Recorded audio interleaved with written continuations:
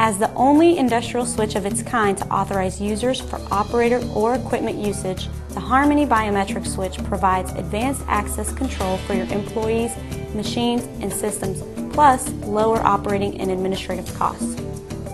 The secret is fingerprint recognition technology. Your fingerprint is the key. In this video, you will get step-by-step -step instructions on how to set up and operate the Harmony Biometric Switch. You'll learn the unit, its symbols and terminology, initial startup, which includes registering an initial administrator, adding a user, adding another administrator, removing a user, and performing a total reset. There are two different participants, administrator and user. An administrator is a person who can manage the biometric switch but cannot operate the device. A user is a person who can operate the biometric switch but cannot add or remove users from the device. Let's go over the symbols on the biometric switch and the terminology. First is the user LED to add users. Next is the administrator LED to add additional administrators. The reset LED is to remove a user, an administrator, or to perform a total reset of the device.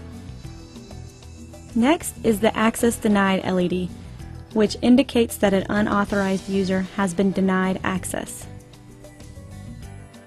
Finally, the Output Status LED turns green when access has been granted. To the right of the fingerprint touchscreen, there is the scroll through option. When you touch the top half of the screen, it scrolls through various options.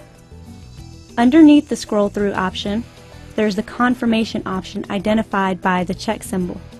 When you touch the bottom half of the screen, it confirms your selection.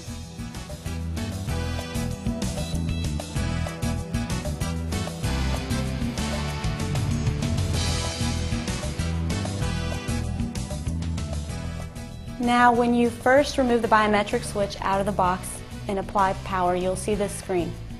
You'll want to go through the initial setup stage in order to add your first administrator. To do this, touch the screen at least three times. When you see the blue screen, it has registered you as an administrator.